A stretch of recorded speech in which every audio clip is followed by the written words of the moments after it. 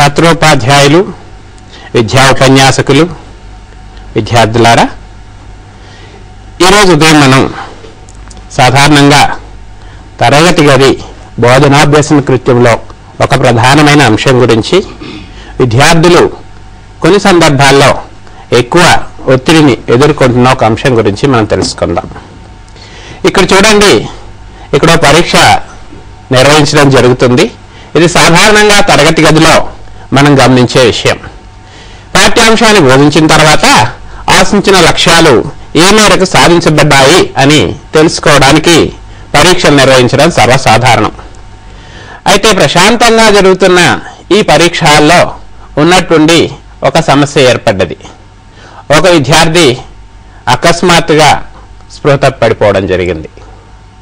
వెంటనే ఆ విద్యార్థిని ఇతర పిల్లలు ఉపాధ్యాయుల సహాయంతోనే వైద్యశాల కంటే హాస్పిటల్కి తరలించడం జరిగింది.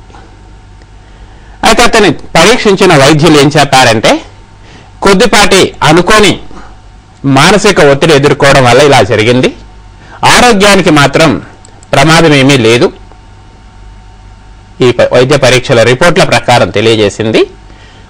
అనుకోకుండా మానసిక ఒత్తిడిని ఎదుర్కోవడం ఎందుకు కారణం? ఇప్పుడు ఆరోగ్యం స్థిరంగా ఉంది. ప్రమాదం లేదని చెప్పారు. సరే వెంటనే అడిగారు తోటి విద్యార్థులు ఉపాధ్యాయులు మరి పరీక్ష నుంచి వచ్చారు ఇతను? ముఖ్యమైనది. మళ్ళీ తీసుకెళ్ళొచ్చా? అని. తీసుకెళ్ళండి కావాలంటే కానీ అక్కడికి వెళ్ళిన తర్వాత ఆరోగ్య పరిస్థితి ఇలానే స్థిరంగా ఉంటుందని చెప్పలేమన్నారు వైద్యులు. ఇప్పుడు గమనించండి ఎందుకు ఇలా జరిగింది? ఈ హాస్పిటల్లో స్థిరంగా ఆరోగ్యం ఉన్న విద్యార్థి మళ్ళీ తర్- ఆ యొక్క పరీక్ష హాల్కి తీసుకెళ్ళి వెళ్ళినట్లయితే అతని ఆరోగ్యం స్థిరంగా ఉంటుంది అన్న గ్యారంటీ వైద్యులు ఇవ్వలేమంటున్నారు. అంటే విద్యార్థులు పరీక్షలంటే ప్రత్యేకించి పరీక్షలు రాసే సమయంలో ఫలితాలని చూసుకునే సమయంలో ఎంత ఒత్తిడికి గురవుతున్నారో ఈ సంఘటన మనకు తెలియజేస్తుంది. ఈ విషయాన్ని దృష్టిలో పెట్టుకొని మొట్టమొదట స్వాతంత్రం వచ్చిన తర్వాత వేసిన వివిధ కమిషన్లు ప్రత్యేకించి యూనివర్సిటీ విద్యా కమిషన్ వారు తెలియజేశారు. ఒకవేళ వెంటనే విద్యా వ్యవస్థలో చేయాల్సిన మార్పులు ఏవైనా ఉన్నాయి ఒక్క విషయాన్ని సూచించండి అంటే మేము తెలియచెప్పేది పరీక్షల యొక్క సంస్కరణ అని అప్పటి నుంచి నేటి వరకు వివిధ కమిషన్ల సూచనల సలహాల మేరకు వీలైనన్ని మార్పులు చేయడానికి ప్రయత్నాలు జరుగుతూనే ఉంటున్నాయి మన ఆంధ్రప్రదేశ్ ప్రభుత్వం ఈ విషయాన్ని దృష్టిలో పెట్టుకొని ఇప్పటికే ఏడవ తరగతి కామన్ బోర్డు పరీక్షల్ని రద్దు చేయడం జరిగింది. ఇక ఆ తర్వాత పదవ తరగతి పరీక్షలు మరొక ముఖ్యంగా పిల్లలపై ఒత్తిడి తీసుకొని వచ్చే వాటిని రద్దు చేసే యోచనలో ఉన్నట్టుగా ఇటీవల కపిల్ సిబాల్ గారు ఒక ప్రతిపాదన ప్రతిపాదించి అది ఆ పని ప్రోగ్రెస్లో ఉన్నట్టుగా మనకు తెలిసిన సమాచారం. ఇలాంటి పరిస్థితుల్లో మనం ఈరోజు ఈ విషయాలన్నీ దృష్టిలో పెట్టుకొని పరీక్షలు విద్యార్థులలో మానసిక ఒత్తిడి ఉపాధ్యాయుని పాత్ర నివారణ అన్న అంశాన్ని పరిశీలిద్దాం. అసలు పరీక్షల వల్ల పిల్లల ఒత్తిడి ఎందుకు వస్తుంది? దీనికి సంబంధించి ఏ విధమైన సమస్యలు విద్యార్థులు ఎదుర్కొంటారు? వాటిని ఎలా అధిగమించాలి? దానిలో ఉపాధ్యాయుని యొక్క పాత్ర ఏంటి అనే అంశాన్ని పరీక్షించడానికి గాను మనం ఈ విషయాల్ని గమనిస్తాం. పరీక్షలు అనగానేమి? ఒత్తిడి అనగానేమి? మానసిక ఒత్తిడి లక్షణాలు విద్యార్థులలో పరీక్షల ఒత్తిడికి కారణాలు ఒత్తిడి నివారణ చర్యలు ఒత్తిడి నియంత్రణలో ఉపాధ్యాయుల పాత్ర. ఇక్కడ మనం మొట్టమొదట పరీక్షల ఒత్తిడి ఎందుకు వస్తుంది? దీని నుంచి బయటపడాలంటే ఏం చేయాలి? ఒకరు అన్నారు పరీక్షలు పూర్తిగా తీసేస్తే పోలే అని. అవును పరీక్షలు తీసేస్తే ఒత్తిడి లేకుండా చేయొచ్చు. కానీ సమస్య ఏంటంటే ఏదో తరగతి తీసేసాం పది తీసేస్తాం తర్వాత పన్నెండు? ఇంటర్మీడియట్? తర్వాత డిగ్రీ? పీజీ? వివిధ ఉద్యోగాలకు? ఇంటర్వ్యూలకు? ఆ మాటకు వస్తే అనుదినం బ్రతకడం కూడా ఒక పరీక్ష లాంటిదే కదా. జీవితాన్ని కొనసాగించడం కాబట్టి పరీక్షలను తీసేయడము దీనికి పరిష్కారం కాదు. అయితే ఇంకో మాటలో చెప్పాలంటే కొద్దిపాటి మానసిక ఒత్తిడి ఉండడమే ఒక కార్యాన్ని బాగా చేయడానికి సక్రమంగా నిర్వర్తించడానికి దోహదపడుతుంది. అందుకోసమని ఈరోజు మన ఈ అంశాన్ని పరీక్షల ఒత్తిడిని ఇంధనంగా మార్చుకొని విజయం సాధించటం ఎలా అన్న దృక్పథంతో పరిశీలిద్దాం. ఇక్కడ పరీక్షల ఒత్తిడి ఇంధనం అంటున్నాను. కొంచెం కొత్తగా వినిపించినప్పటికీ నిజానికి అదే ఒక్కసారి మీ తరగతి గదిలో ఈ సంవత్సరం పరీక్షలు ఉండవు అని గనక ప్రకటన చేస్తే పరిస్థితి మనం అర్థం చేసుకోవచ్చు. కాబట్టి ఇక్కడ మనం ముఖ్యంగా గమనించాల్సిన అంశం ఏమిటంటే అసలు సమస్య పరీక్షలు కాదు. పరీక్షలు వాటి ఫలితాల పట్ల విద్యార్థులు ఉపాధ్యాయులు తల్లిదండ్రులు ఏర్పరచుకున్న కొన్ని దురభిప్రాయాలు. ఏంటది? పరీక్షలో మార్కులు తక్కువ వస్తే విద్యార్థికి తెలివి లేదని సగటు కన్నా తక్కువ ప్రతిభావంతుడని సరిగా చదువు లేదని ఇలా ఆలోచిస్తున్నామే తప్ప అందుకు గల మూల కారణాలేమిటి అని సరిగా అర్థం చేసుకోలేకపోతున్నాం. కాబట్టి పరీక్ష యొక్క అర్థాన్ని మనం జాగ్రత్తగా గమనించినట్లయితే పరీక్ష పరీక్షార్థుల సామర్థ్యాలను అంచనా వేయడానికి ఉద్దేశించిన ఒక కృత్యం. గుర్తుపెట్టుకోవాల్సిన ముఖ్యమైన అంశం ఇక్కడ పరీక్షార్థుల సామర్థ్యమును ఇది అంచనా వేస్తుంది. ఖచ్చితంగా కొలవడం ఈ వ్యక్తికి ఇంతకన్నా ఎక్కువ జ్ఞానం లేదు అనే నిర్ధారణ ఎక్కడ మనం చేయట్లేదు. మొదటి అంశం.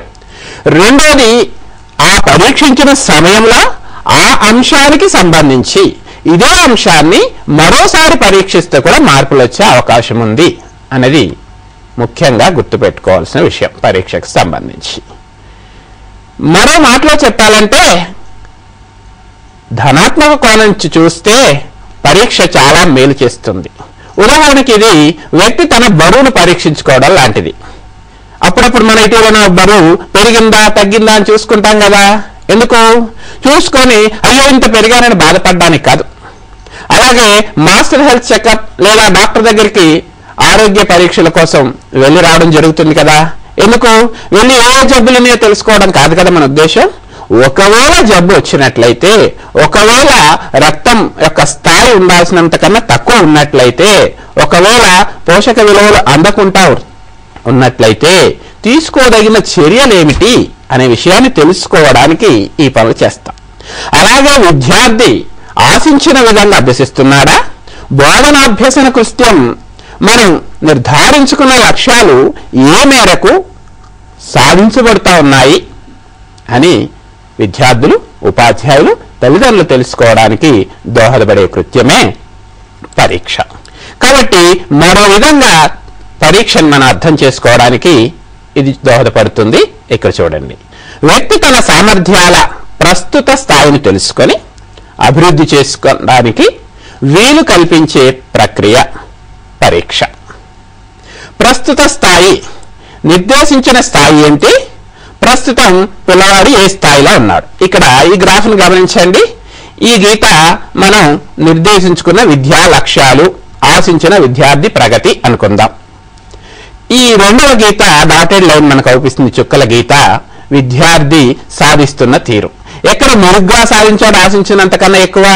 ఎప్పుడు ఏ అంశంలో ఆశించినంతకన్నా తక్కువ సాధించాడు? తగిన చర్యలు తీసుకోవడం ద్వారా ఈ రెండు సమాన స్థాయికి ఆశించిన స్థాయికి రావడానికి చర్యలు తీసుకోవడానికి ఇది దోహదపడుతుంది. కాబట్టి పరీక్ష అనేది విద్యార్థులకు బోధనాభ్యసన ప్రక్రియలో మేలు చేసే అంశమే కానీ ఇబ్బంది పెట్టేది కాదు.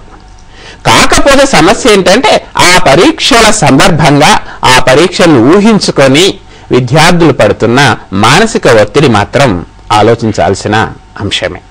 అందుకోసమని ఇక్కడ ఈ మానసిక ఒత్తిడిని గనక మనం ఇంధనంగా వాడుకున్నట్లయితే ఆ పరీక్షను మెరుగ్గా రాయడానికి విద్యార్థులకు అది దోహదపడుతుంది. ఇక్కడ చూడండి మానసిక ఒత్తిడి అంటే ఏమిటి? మానసిక ఒత్తిడి వ్యక్తిని కృత్య నిర్వహణకు సన్నద్ధపరిచే ప్రక్రియ. ఒక పని చేయడానికి వ్యక్తిని తయారు చేసే ప్రక్రియే మానసిక ఒత్తిడి. కాబట్టి మరి పిల్లలు పరీక్షలు రాయాలంటే దానికి సిద్ధపడాలంటే కొంతమేరకు వారికి ఈ మానసిక ఒత్తిడి అవసరమే కదా? అది. ఆ తర్వాత ఇంకా మానసిక ఒత్తిడిని నిర్దిష్టంగా పరిశీలిస్తే ఇక్కడ చూడండి మొదట పరిస్థితులను ఎదుర్కోవడానికి తోడ్పడుతుంది.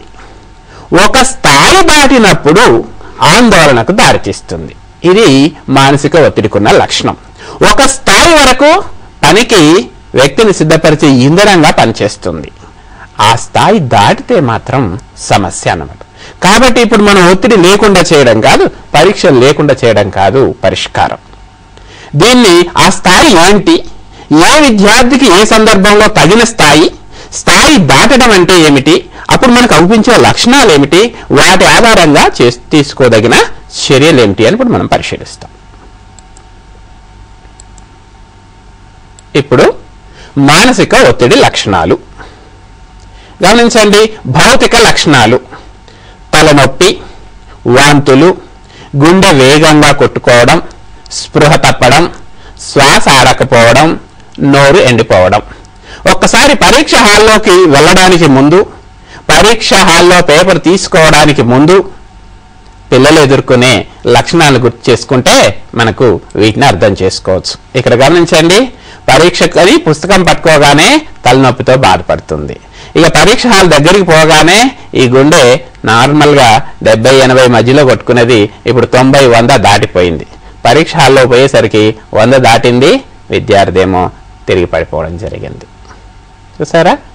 కాబట్టి ఈ మూడవ స్థాయి రాకముందే మొదటి రెండు స్థాయిలలో లక్షణాల ద్వారా వీటిని గుర్తించి మనం తగిన నివారణ చర్యలు తీసుకోవాలి.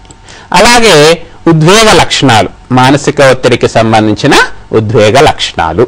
భయం కోపం అసంతృప్తి నిస్సహాయతాభావం అవసాదం అంటే డిప్రెషన్. అదుపు తప్పిన నవ్వు. ఏడవలేక నవ్వుతున్నాం అంటారు చూడండి. అలాంటిదన్నమాట. ఇక్కడ చూడండి ఈ ఉద్వేగ లక్షణాలు మానసిక ఒత్తిడికి సంబంధించినవి కోపం. ఊరికే ఇట్లా కదిలిస్తే చాలు వారికి లేనిపోయిన కోపం వచ్చేస్తుంది. అలాగే భయం. అమ్మో పరీక్షలంటే భయం. మరి పోనీ ఈసారి రాయకుండా వచ్చేస్తా అంటే వదిలేస్తావా అంటే అమ్మ వద్దు ఫెయిల్ అవుతా. అది భయమే. అసంతృప్తి అవసాదం అంటే డిప్రెషన్ పని చేస్తూనే ఉన్నాడు కానీ మనిషి ఏదో తెలియని దిగులు నీరసం అలాంటివి వ్యక్తిలో అగుపిస్తాయి ప్రాథమిక స్థాయిలో ఈ పరీక్షలకు సంబంధించిన ఒత్తిడి పిల్లలు స్థాయికి మించి ఎదుర్కొంటున్నారు అని గుర్తించడానికి ఈ లక్షణాలు మనకు దోహదపడతాయి. వీటితో పాటు సంజ్ఞానాత్మక లక్షణాలు. ఉదాహరణకి నియంత్రణ లేని ఆలోచనలు అవధానం లోపించడం ఇతరులతో అసంబద్ధమైన పోలిక. వాడు నాకన్నా ఎక్కువ చదువుతున్నాడు ఎక్కువ గంటలు చదువుతున్నాడు ఎక్కువ పుస్తకాలు చదువుతున్నాడు. ఎన్ని గంటలు చదివావు ఎన్ని పుస్తకాలు చదివావు కాదు కదా? చదవాల్సిన అంశాన్ని అర్థవంతంగా చదువుతామా లేదా అన్నది ముఖ్యమైన విషయం. అలాగే ప్రవర్తనాపరమైన లక్షణాలు. సోమరితనం ఇతను చూడండి. ఆ సోఫాలోనే పడుకున్నాడు. అంటే బెడ్రూమ్లో బెడ్ దాకా వెళ్ళే ఓపిక కూడా లేదు.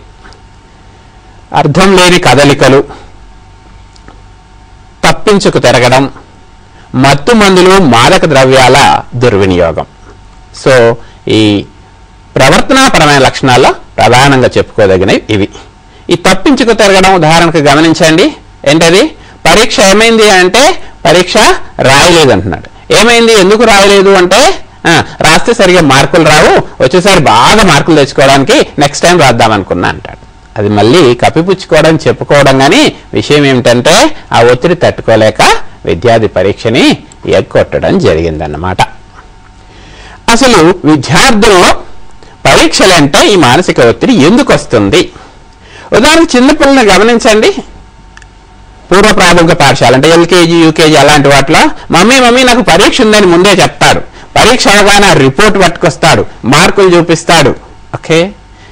కానీ అదే ప్రాథమిక పాఠశాల ఉన్నత పాఠశాల స్థాయికి వచ్చేసరికి పిల్లల పరీక్షలకు సంబంధించిన ప్రతిస్పందనలో మార్పు గమనిస్తాం. ఇక ఇంటర్ డిగ్రీ స్థాయిలో చాలామంది పిల్లలు తల్లిదండ్రులకు ఆ విషయాన్ని కూడా అడిగినా చెప్పని పరిస్థితి కూడా కొన్ని సందర్భాల్లో ఉంది.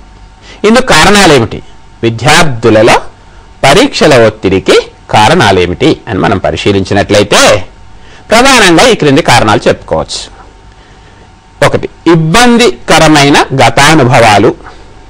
పరీక్ష హాల్లో ఏదీ గుర్తుకు రాదేమో అనే ఆందోళన. సరిగ్గా సిద్ధపడకపోవడం. చూడండి గతానుభవాలు. డెబ్బై ఎనభై తొంభైకి తక్కువ దేంట్లో రావని రాస్తే ఒక పరీక్షలో ఫెయిల్ అవ్వడం కూడా జరిగింది. పాస్ కన్నా తక్కువ మార్కులు వచ్చినాయి. కాబట్టి ఈసారి పరీక్ష అనగానే పిల్లవాడికి ఈ గతానుభవం ఇబ్బందికరమైన గతానుభవం గుర్తుకు వస్తుంది. అలాగే బాగానే చదివినా మరి ఇంకెందుకు టెన్షన్ పడుతున్నావు? అంటే అమ్మో అన్ని బాగానే చదివినా కానీ హాల్లో పోయినాక ఏమైనా గుర్తొస్తావో లేదో? ఇది చాలామంది పిల్లల్లో ఉండే మరొక భావన. సరిగ్గా సిద్ధపడకపోవడం.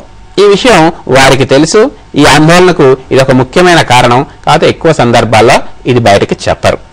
అది మనం అర్థం చేసుకొని ఒకవేళ అది కారణమైతే తగిన నివారణ చర్యలు తీసుకోవాల్సి ఉంటుంది.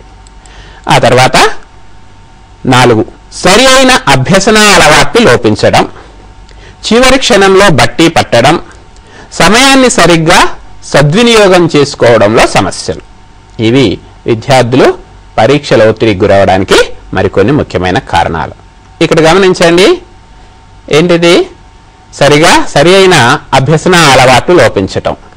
రెండు పుస్తకాలు చదవాలి కానీ ఒకేసారి ఎడం చేతోటి కుడి చేతోటి పట్టుకొని చదివితే ఇంకా ఆ ఏది అర్థమవుతుంది? రేపు పరీక్షలో ఈ రెండింటిలో దేన్ని రాస్తాడు? ఓకే. అలాగే ఒకేసారి పది పనులు పెట్టుకోవడం. ఇటు టీవీ చూస్తూ అటు బుక్ చదువుతూ అటు డోర్ వేసేస్తున్నాడు. ఇది సాధ్యమయ్యేదేనా? అలాగే సమయాన్ని మేనేజ్ చేసుకోవడంలో ఇబ్బందులు. అంటే సరిగా సద్వినియోగం చేసుకోలేకపోవడం. ఉన్న కొద్ది సమయంలో అనేక పనులు పెట్టుకొని వాటిని సరిగా నిర్వహించలేకపోవడం. ఆ తర్వాత మరికొన్ని కారణాలు మనం గమనించినట్లయితే ఒత్తిడికి సంబంధించి అనుత్తీర్ణత భయం ఫెయిల్ అవుతానేమో అని భయం. బాగా సాధించాలనే నిర్బంధం ఒత్తిడి తక్కువ ఆత్మభావన పరిపూర్ణతావాదం.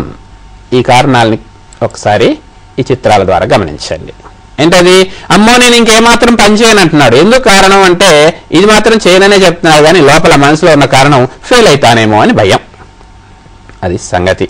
అలాగే ఇతను చూడండి. ఈ క్రికెట్ ఆడాలి.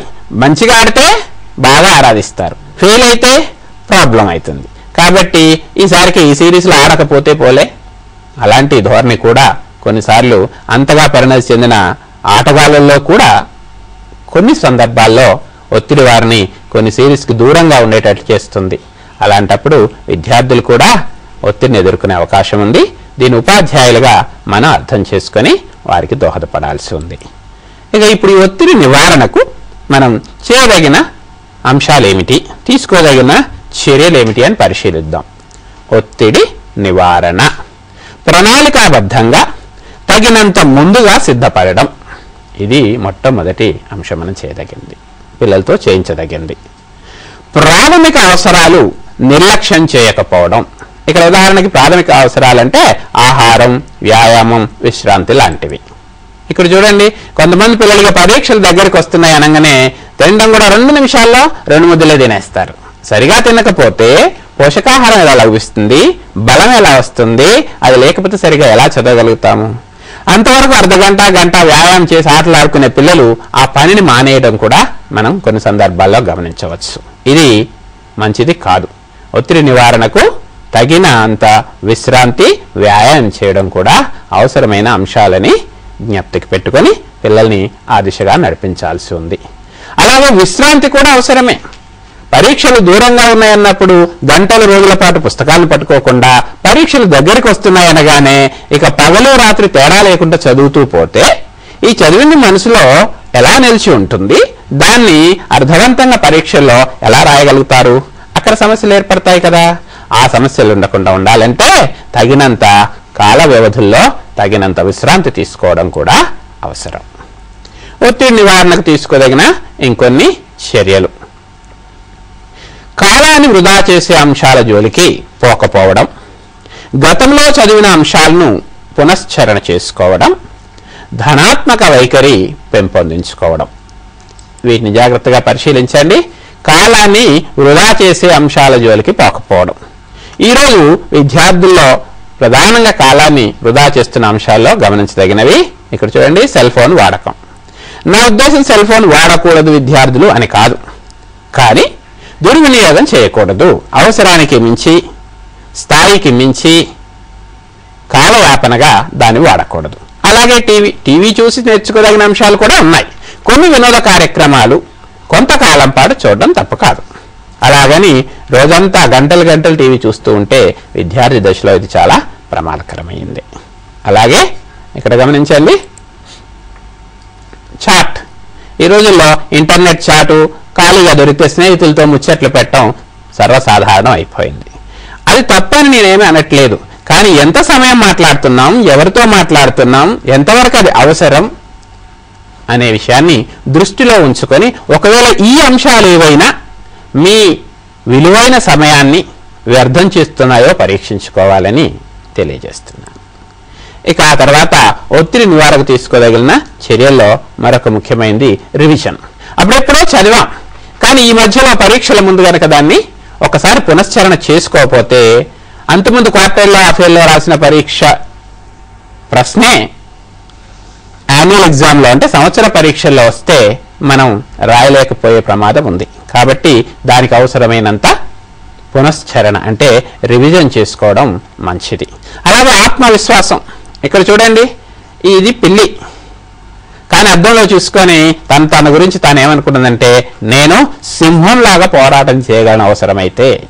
ఇలాంటి ఆత్మవిశ్వాసం పరీక్షలో బాగా సిద్ధపడడానికి రాయడానికి దోహదపడుతుంది. అది లోపిస్తే సమస్యలు ఎదుర్కోవడానికి అవకాశం ఉంది. ఇక ఈ సందర్భంలో ఉపాధ్యాయులు తల్లిదండ్రుల యొక్క పాత్ర ఏమిటి? ప్రత్యేకించి ఉపాధ్యాయుల పాత్ర. తగిన ప్రణాళికను ఏర్పరచుకొని అమలు చేయడానికి విద్యార్థులలో ప్రేరణ కలగచేయడం చదవడం ఆటపాటలు వినోద కార్యకలాపాల మధ్య తగిన సమన్వయాన్ని సాధించడానికి దోహదపడడం. ఇది ఉపాధ్యాయులు పిల్లల్ని తగిన విధంగా పరీక్షలు రాయడానికి దోహదపడటంలో పోషించాల్సిన పాత్ర. అలాగే పరీక్షలు వాటి ఫలితాల గురించి చర్చించి మానసిక ఒత్తిడిని అదుపులో ఉంచుకోవడానికి దోహదపడడం. తగిన అభ్యసన అలవాట్లు పెంపొందింపచేయడం. పరీక్షకు ముందు పరీక్ష సమయం మరియు పరీక్ష ముగిసిన తర్వాత చేయదగిన అంశాలు వివరించటం. ఇది ఉపాధ్యాయులు పిల్లల్ని చక్కగా పరీక్షలకు సిద్ధపరిచి ఆత్మవిశ్వాసంతో పంపడానికి తీసుకోదగిన చర్యలు. ఇక్కడ ప్రధానంగా ఈ అంశాన్ని నిర్దిష్టంగా ఉపాధ్యాయులు దృష్టిలో ఉంచుకొని కొన్ని సూచనలు చేయాల్సిందిగా నేను ఈ సందర్భంలో తెలియజేయదలుచుకున్నాను. ఏంటంటే పరీక్షకు ముందు పరీక్ష సమయం మరియు పరీక్ష ముగిసిన తర్వాత చేయదగిన అంశాలు వివరించటం. విద్యార్థులు పరీక్షలకు చదవడం అంటే సాధారణ భావన ఏంటంటే మార్చిలో పరీక్షలు కాబట్టి జనవరి ఫిబ్రవరి నెలల్లో చదవడం. ఈ లోపల పోర్షన్లన్నీ ముగించి సరదాగా కాలాన్ని గడిపి ఉన్నా పర్వాలేదు అనే ఒక మిస్కాన్సెప్షన్ ఉంది. ఒక అపవాదు భావన. కాబట్టి దీన్ని దృష్టిలో పెట్టుకొని ఉపాధ్యాయులు ముందే పరీక్ష అనేది మార్చిలో ఉన్నా కానీ ఎప్పటికప్పుడు సిద్ధపడుతూ ముందు కొనసాగడం పరీక్షని అర్థవంతంగా ఫేస్ చేయడానికి ఎదుర్కోవడానికి మంచి ఫలితాలు సాధించడానికి దోహదపడుతుందని వారికి తెలియజేసి తగిన ప్రణాళికను అందుకు తయారు చేసుకొని దాని ప్రకారం చదివి విద్యార్థులకు మంచి మార్కులు సాధించడానికి దోహదపడాలి. ఇక ఆ తర్వాత నిర్దిష్టంగా పరీక్ష రోజున పరీక్ష సమయంలో పరీక్ష ముగిసిన తర్వాత చేయకూడని అంశాలు చేయదగిన అంశాలు వివరించడం కూడా దోహదపడుతుంది. ఉదాహరణకి పరీక్షకి ముందు రోజు చాలామంది పిల్లలు రాత్రి రెండు మూడు నాలుగు వరకు నిద్రపోరు. చదువుతూనే ఉంటారు తెల్లారి పరీక్ష అంటే. ఇక నైట్ అవుట్ చేసే వాళ్ళు కూడా ఉన్నారనుకోండి. అయితే పరీక్ష ముందు రోజు నైట్ అవుట్ చేసిన విద్యార్థి పరీక్ష హాల్లోపై పరీక్ష రాసే అవకాశం కన్నా నిద్రపోయే అవకాశం కానీ కలుగురి కింద పడే అవకాశం కానీ ఎక్కువగా ఉంటుంది. కాబట్టి ఇలాంటి విషయాలు పిల్లలకు తెలియచేసి వారు బాగా సిద్ధపడటానికి దోహదపడాలి. అలాగే పరీక్ష సమయంలో కూడా తీసుకోవాల్సిన కొన్ని ముఖ్యమైన జాగ్రత్తలు ఉన్నాయి. అనేక సందర్భాల్లో పరీక్ష సమయంలో పిల్లలు పరీక్ష పత్రం ఇవ్వగానే ప్రశ్నలు జవాబు రాయడం మొదలుపెట్టేస్తారు. ముందు బాగానే రాసే రెండు మూడు బాగా తెలిసినాయి. ఆ తర్వాత వెళ్ళి చూస్తే సమయం కొద్దిగా ఉంది. ఇంతకన్నా బాగా తెలిసినవి బాగా వచ్చిన ప్రశ్నలు ఉన్నాయి. సమాధానం రాయడానికి అవకాశం లేని పరిస్థితి. చూసారా? బాగా సిద్ధపడి కూడా ఆ తన ప్రతిభను తనకున్న సామర్థ్యాన్ని పరీక్షించలేని పరిస్థితి ఏర్పడ్డది. కాబట్టి పిల్లలకి పరీక్ష పత్రాన్ని ముందు జాగ్రత్తగా పూర్తిగా ఒకసారి వీక్షణం గావించి అంటే అటు ఇటు చూసి ఎన్ని ప్రశ్నలకు సమాధానం రావాలి అందులో నేను ఏ ప్రశ్నలకు సమాధానం రాయదలుచుకున్నాను అనే నిర్ణయం మొదటి ఐదు పది నిమిషాలు చేసుకొని ఆ తర్వాత ముందుకు వెళ్తే పరీక్షని మంచిగా రాయడానికి మంచి ఫలితాలు సాధించడానికి వీలుంటుంది. ఇక అలాగే పరీక్ష సందర్భంలో కొంతమంది పిల్లలు పక్కవాన్ని మందలించటం లేదా పక్క పిల్లలు వీరిని మందలించడం చేస్తారు. ఇది మనం పిల్లలతో మాట్లాడకూడని అంశం అనుకొని అనేక సార్లు తరగతి గదిలో ప్రస్తావన తీసుకురాం. కానీ దీనికి సంబంధించిన నిర్దిష్ట సమాచారం పిల్లలకు మనం తరగతి గదిలో ఇచ్చినట్లయితే వారు పరీక్షల్ని సమర్థంగా ఎదుర్కొనే అవకాశం ఉంది. ఉదాహరణకి ఏం చేయాలి? ఒక పిల్లవాడు పరీక్ష జరుగుతూ ఉండగా పక్క నుంచి మనల్ని ఏదైనా విషయం అడిగితే ఏం చేయాలి? ప్రతిస్పందించకపోవడం మంచిది. మొదటి నియమం ఏంటంటే మనం ఎవరిని అడగకూడదు పరీక్షల్లో. రెండో నియమం ఎవరైనా అడిగినా మనం దానికి జవాబు చెప్పకూడదు. మాట్లాడకూడదు ఆ సమయంలో. ఎందుకు చెప్తున్నాను అంటే ఒకసారి మనం పెన్ను అడిగాడు కదా అని మాట్లాడితే రేపు ఇంకో దానికి కూడా మాట్లాడతాడు. ఇంకో విషయం కూడా అడుగుతాడు.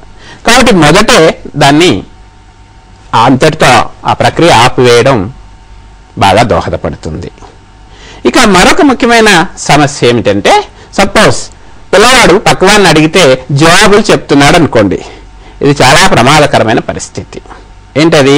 పరీక్షల్లో చూస్తూ చూస్తూ ఎవరు పక్క వాళ్ళకి బాగా చదువుకొని సీరియస్గా సిన్సియర్గా సిన్సియర్గా రాసే విద్యార్థులు పక్క వాళ్ళతో మాట్లాడరు జవాబులు చెప్పరు. ఉదాహరణ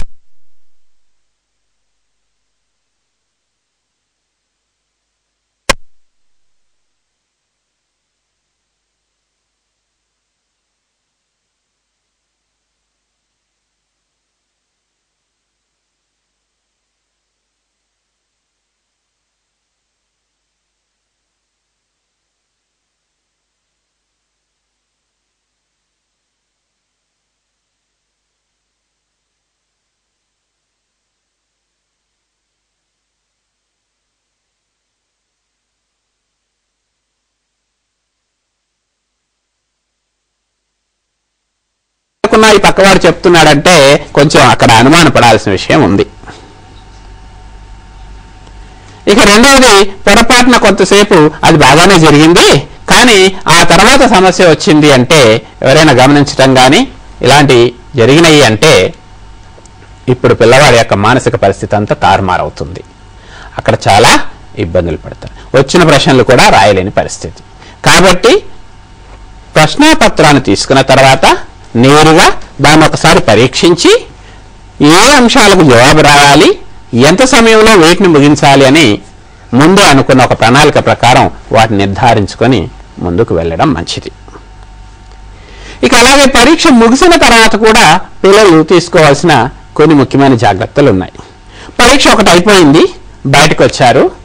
ఇంకా చాలామంది విద్యార్థులు చేసే పని ఏంటంటే పక్క వాళ్ళతో అడగడం. ఇదేమైంది? అదేమైంది? ఇది ఎలా రాసావు అది ఎలా రాసావు ఇది ఇలా వస్తుంది అనుకున్నా అది రాదనుకున్నా. కొద్ది మేరకు ఐదు పది నిమిషాలు సంతృప్తిగా బాగా పరిచయం ఉన్న కంబైన్ స్టడీ అంటే కలిసిమెలిసి చదువుకున్న విద్యార్థులు కానీ ఉపాధ్యాయుడు లేదా తల్లిదండ్రులు లాంటి మన సంక్షేమం కోరే వ్యక్తులతో కానీ ఐదు పది నిమిషాలు చర్చించడం తప్పులేదు అంతేకాని వేరు వేరు విద్యార్థులతోని ఈ విషయాన్ని చర్చిస్తూ పోతే ఇక ఆ సమయం అలానే గడిచి ఆ తర్వాత రోజు పరీక్షని మెరుగ్గా సిద్ధపడి రాసే అవకాశాన్ని కోల్పోతాం అన్న విషయాన్ని ఇక్కడ గుర్తుకు తెచ్చుకోవాలి. ఇక రెండోది నిజంగానే మనం ఏదైనా పొరపాటు చేసింటే ఇందులో నలుగురు నాలుగు రకాలుగా దాన్ని ప్రొజెక్ట్ చేయడం వల్ల తర్వాత రాబోయే పరీక్షకి మనం సిద్ధపడే అవకాశాలు తగ్గడంతో పాటు మన ఆత్మవిశ్వాసం తగ్గిపోతుంది. కాబట్టి ఈ విషయాన్ని దృష్టిలో ఉంచుకొని పరీక్ష ముగిసిన తర్వాత వీలైనంత వరకు పరిచయం లేని వ్యక్తులతో ఆ విషయం గురించి లేదా మన మేలు కోరే మంచి దగ్గర స్నేహితులు అనుకున్న వారితో తప్ప చర్చించకపోవడమే మంచిది. ఇక ఆ తర్వాత ఈరోజు మనం నేర్చుకున్న అంశాల్ని ఒకసారి జాగ్రత్తగా పరిశీలిద్దాం. పరీక్షలు అనగా ఏమి? ఒత్తిడి అనగానేమి ఒత్తిడి లక్షణాలేమిటి?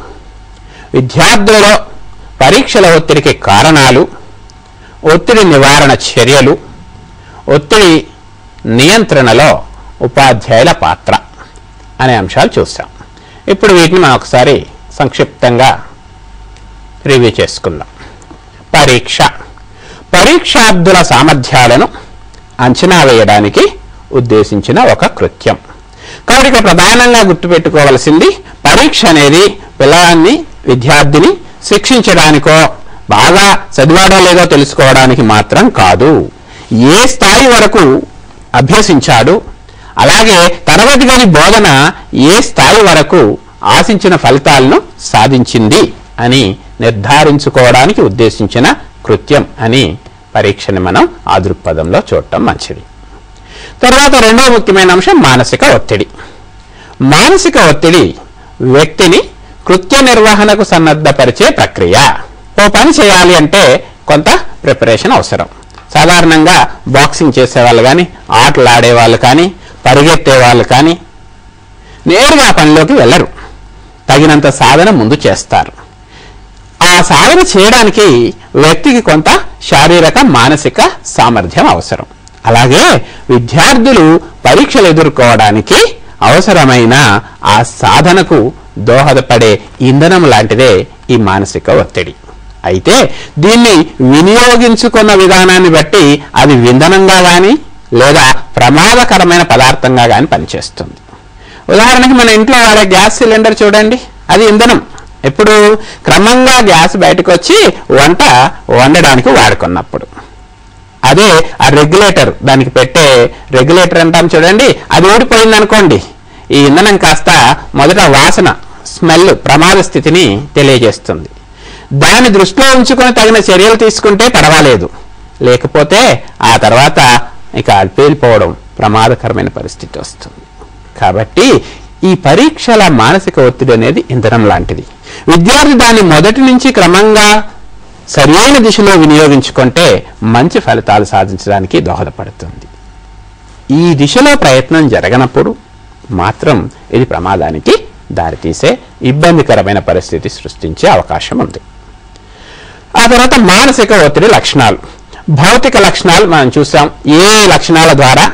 ఈ విద్యార్థి స్థాయికి మించిన సమస్యను ఎదుర్కొంటున్నాడు. తలనొప్పి రావడం కళ్ళు తిరగడం వాంతులు తీవ్రంగా జ్వరం రావడం అలాగే చెమటలు పట్టడం ఊరికే నీరసంగా అనిపించటం ఇలాంటివి భౌతిక లక్షణాల గురించి మనం చూసాం. అలాగే ఉద్వేగ లక్షణాలు. కోపం భయం ఇంతకు చాలా ప్రశాంతంగా ఉండే విద్యార్థి. ఇప్పుడు ఏ చిన్న విషయం అడిగినా కూడా చిరాగ్గా సమాధానం చెప్తున్నాడు. తల్లిదండ్రులకు కానీ ఉపాధ్యాయులకు కానీ అంటే సాధారణంగా ఆ పరిస్థితుల్లో మనం పిల్లవాడిని అర్థం చేసుకుంది పిల్లవాడి ప్రవర్తన మారింది మంచి లక్షణాలు పోయినాయి అలా అనుకుంటాం. కానీ దీనికి కారణం ఉంది. ఈ మధ్యలో ఏమిటి? ఓహో దగ్గరలో ఉన్న పరీక్షలకు సంబంధించి పిల్లవాడు ఒత్తిడి ఎదుర్కొంటున్నాడని మనం గ్రహించడం కానీ పెద్ద పిల్లలైతే వారి ద్వారా కూడా అడిగి తెలుసుకోవడం కానీ మంచిది. తద్వారా వారికి తగిన మార్గదర్శకత్వాన్ని అంటే గైడెన్స్ అందచేయడం సాధ్యమవుతుంది. అలాగే సంజ్ఞానాత్మక లక్షణాలు. పిల్లవాడు బుక్ పట్టుకొని చదువుతూనే ఉన్నాడు. ఇదివరకు మామూలుగా చదివి పేజీలు తిరిగేసేవాడు. కానీ ఇప్పుడు బుక్ పట్టుకొని ఎంత పదిహేను ఇరవై ముప్పై నిమిషాలు అలానే ఆలోచిస్తూ ఉన్నాడు. అర్థం లేని ఆలోచనలు. ఇలా అయితే అలా అయితే ఇలా కాకపోతే ఏం ఆలోచిస్తున్నావు అంటే ఇలాంటి చెప్తున్నాడు. ఒకవేళ పరీక్షలో ఈ ప్రశ్న వస్తే రాకపోతే వస్తే నేను బాగా రాస్తే రాయకపోతే సంబంధం లేని ఆలోచనలు ఎక్కువగా రావడం. అలాగే ప్రవర్తనాపరమైన లక్షణాలు. కొంతమంది ఇక పరీక్షలు దగ్గరికి వస్తున్నాయి అనగానే ఎవరితో మాట్లాడరు ఎవరితో కలవరు ఏమీ చేయరు. అంటే అనుదినం సాధారణంగా చేసే పనులు కూడా మానేయమని కాదు అక్కడ. అది కూడా పిల్లల్లో ప్రవర్తనాపరమైన లోపాలు లేదా లక్షణాలు అవుపిస్తున్నాయంటే పరీక్షల ఒత్తిడిని తీవ్రంగా ఎదుర్కొంటున్నారని మనం అర్థం చేసుకోవచ్చు. ఇక విద్యార్థులలో పరీక్షల ఒత్తిడి గల కారణాలేమిటి? అన్నప్పుడు ఇబ్బందికరమైన గతానుభవాలు. కొంతమంది ఉపాధ్యాయులు కూడా కొన్నిసార్లు తెలియక ఉద్దేశపూర్వకంగా కాదు అనుకోకుండా తెలియక కూడా ఇలాంటి ఇబ్బందికరమైన గతానుభవాలు పిల్లలకు కలగ చేసే సందర్భాలున్నాయి. వాటి కూడా ఉపాధ్యాయులు ఈ సందర్భంగా ప్రత్యేకంగా దృష్టిలో ఉంచుకోవాలని విజ్ఞప్తి చేస్తున్నాను. ఏంటది? పిల్లవాడికి తక్కువ మార్కులు వచ్చినాయి. Fail marks. ఆ పిల్లవాడు వచ్చి సార్ నేను మంచిగానే రాశాను కదా నాకు ఫెయిల్ మార్క్స్ ఎందుకు వచ్చాయి? అన్నాడు. అప్పుడు ఏం చేస్తారు? సాధారణంగా ఏ ఉపాధ్యాయుడైనా ఎన్ని సంవత్సరాల అనుభవం ఎన్ని వందల వేల మంది విద్యార్థులకు నేను పాఠాలు బోధించి పరీక్షలు నిర్వహించా నువ్వు ఈరోజు నాకు చెప్పడానికి వచ్చావా? ఇంకా నీకు అవి రావడమే ఎక్కువ అనే సందర్భాలు ఉన్నాయి ఇక్కడ నేను ఉపాధ్యాయులు కోపంతో అక్కస్తో ఇలాంటి పని చేస్తారనడం లేదు. సాధారణంగా తెలియక కూడా అనేక సందర్భాలు ఇలా వెళ్తుంది. ఇది ఏం చేస్తుంది? పిల్లవాడి యొక్క మానసిక స్థైర్యాన్ని తగ్గిస్తుంది. అలాంటి పరిస్థితి కాకుండా ఆ అనుభవాన్ని పిల్లవాడికి ఇబ్బందికరమైన కాకుండా ఒక గుణపాఠంగా తన తప్పులు తెలుసుకొని భవిష్యత్తుకి వాటిని మెరుగుపరచుకోవడం దోహదపడే అనుభవంగా మలచవచ్చు. ఎలాగూ? ఇదో ఇచ్చిన ప్రశ్న ఇది. దీనికి ఆశించిన సమాధానం ఇది. నువ్వు రాసింది ఇది. దీనివల్ల నీకు రెండు వచ్చాయి ఈ రెండు పాయింట్లే రాసావు రెండు వచ్చాయి ఐదుకు. నువ్వు ఇంకా ఒక రెండు మూడు పాయింట్లు కూడా రాసి ఉన్నట్లయితే నాలుగు ఐదు వచ్చే అవకాశం ఉంది.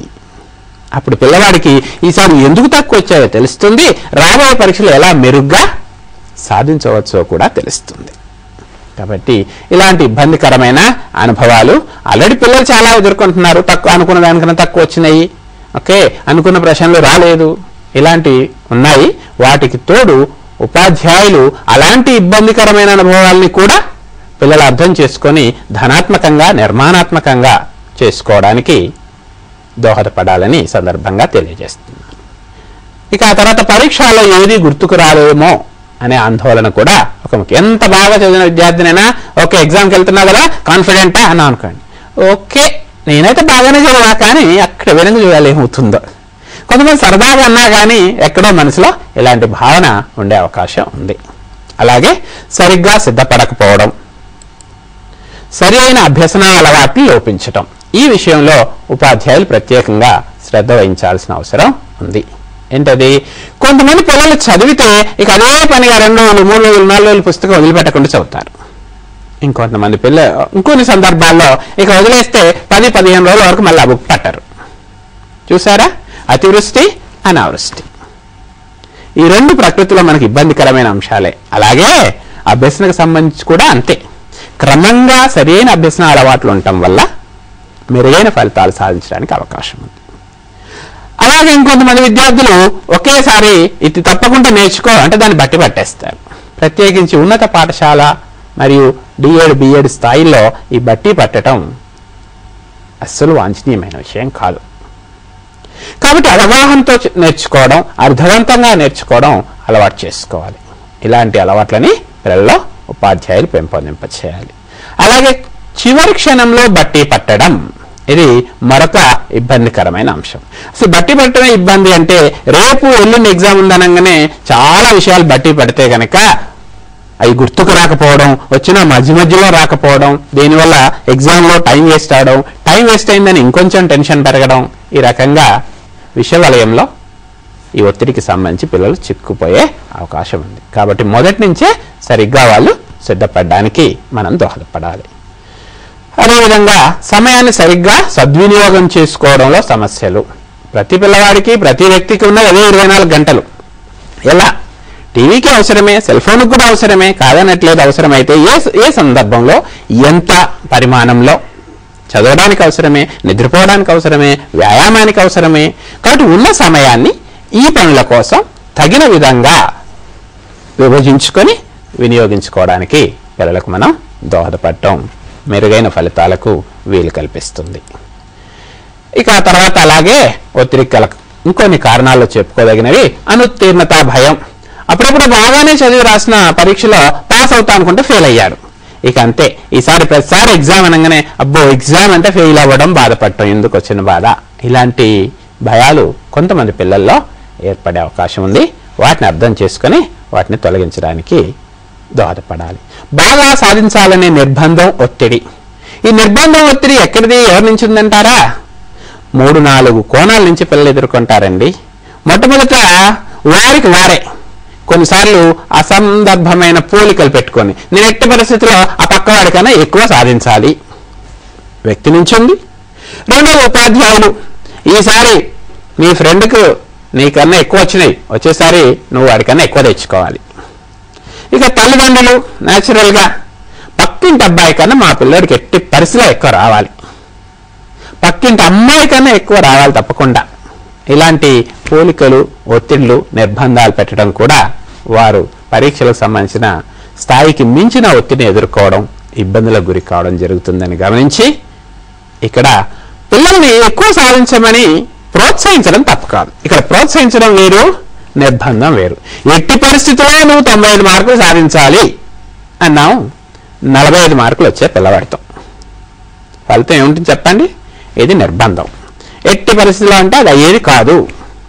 నలభై ఐదు ఉన్నాయి కదా నువ్వు యాభై ఐదు వరకు సాధించాలి. అరవై ఐదు సాధించాలి. ఇలా క్రమంగా పెంచుతూ పోతే అది ప్రోత్సహించడం అవుతుంది. కాబట్టి ఉపాధ్యాయులు తల్లిదండ్రులు. మన పిల్లల్ని కాన్షియస్గా అన్కాన్షియస్ కొన్నిసార్లు ఉద్దేశపూర్వకం కొన్నిసార్లు ఉద్దేశం లేకుండానే నిర్బంధం చేస్తున్నామా ప్రోత్సహిస్తున్నామా పరి పరీక్షించుకోవడం ఎందుకు దోహదపడుతుంది? అలాగే తక్కువ ఆత్మభావన నేను బాగా రాయలేనేమో నేను బాగా చదవలేనేమో నా బతికింతే ఎప్పుడు ఎంత చదివినా ఇంతే అవుతుంది. ఇలాంటి కొన్ని ఇబ్బందికరమైన భావనలు పిల్లల్లో ఉన్నాయి. ఇవి కూడా పరీక్షల ఒత్తిడికి కారణమవుతుంది. తర్వాత పరిపూర్ణతావాదం. ఈసారి ఎందుకు పరీక్ష రాయలేదు? ఆ రాస్తే బట్టాబట్టి పాస్ మార్కులు వస్తాయి అందుకే రాయలేదు.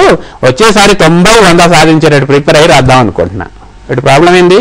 తొంభై వంద వచ్చేటట్టు ప్రిపేర్ అయినప్పుడే పరీక్ష రాస్తాడు. నన్ను అడిగితే ఆ విద్యార్థి ఇప్పట్లో పరీక్ష రాసే అవకాశం లేదన్నమాట. పరిపూర్ణతావాదం అంటే వీలైనంత మంచి మార్కులు సాధించాలా అన్న ధనాత్మక దృక్పథం పొరపాటు కాదు కానీ అసందర్భమైన అసాధ్యమైన పరిపూర్ణత లక్ష్యాలు పెట్టుకొని అసలు పనినే చేయకపోవడం ఎగ్గొట్టడం అనేది ఇబ్బందికరమైన పరిస్థితి అని ఈ సందర్భంలో మనం గ్రహించాలి. ఇక ఒత్తిడి నివారణకు తీసుకోదగిన చర్యలు. ప్రణాళికాబద్ధంగా తగినంత ముందుగా సిద్ధపడడం ప్రాథమిక అవసరాలను నిర్లక్ష్యం చేయకపోవడం ఉదాహరణకి ఆహారం వ్యాయామం విశ్రాంతి ఇవి కూడా మనం ఇంతకుముందు చెప్పుకున్నట్లు అవసరం. అలాగే కాలాన్ని వృధా చేసే అంశాల జోలికి పోకపోవడం గతంలో చదివిన అంశాలను పునశ్చరణ చేసుకోవడం. పరీక్షల ముందు మరొకసారి పునశ్చరణ చేసుకోవడం దోహదపడుతుంది. ధనాత్మక వైఖరి పెంపొందించుకోవడం. ఈసారి నేను బాగా చదివాను బాగా కష్టపడ్డాను బాగానే రాయబోతున్నాను రాస్తాను. ఇలాంటి ఆశావాద దృక్పథం ధనాత్మక వైఖరి దోహదపడుతుంది. చివరిగా మరొక్కసారి ఉపాధ్యాయుల పాత్ర. తగిన ప్రణాళికను ఏర్పరచుకొని అమలు చేయడానికి విద్యార్థులలో ప్రేరణ కలగచేయాలి. చదవడం ఆటపాటలు వినోద కార్యకలాపాల మధ్య తగిన సమన్వయాన్ని సాధించడానికి దోహదపడడం. పరీక్షలు వాటి ఫలితాల గురించి చర్చించి మానసిక ఒత్తిడిని అదుపులో ఉంచుకోవడానికి దోహదపడడం. తగిన అభ్యసన అలవాట్లు పెంపొందింపచేయడం. క్రమంగా చదవడం అర్థవంతంగా నేర్చుకోవడం. ఇలాంటి మంచి అభ్యసన అలవాట్లు. ఇక చివరిగా ఎగ్జామ్ టిప్స్ అండ్ టెక్నిక్స్ అంటాం. అలాంటి విషయాలు. పరీక్షకు ముందు పరీక్ష సమయం మరియు పరీక్ష ముగిసిన తర్వాత చేయదగిన అంశాలు. డూస్ అండ్ డోంట్స్ పరీక్షలో చేయదగిన అంశాలు చేయకూడని అంశాలు. ఇలాంటి వాటిని వివరించటం పిల్లలు మెరుగ్గా పరీక్షలు రాయడానికి దోహదపడుతుంది. కాబట్టి ఛాత్రోపాధ్యాయులారా ఉపాధ్యాయులారా విద్యార్థి మిత్రులారా ఈరోజు మనం పరీక్షల ఒత్తిడిని ఇంధనంగా వాడుకొని మెరుగైన ఫలితాలు ఏ విధంగా సాధించాలి అనే అంశాన్ని పరిశీలించాం.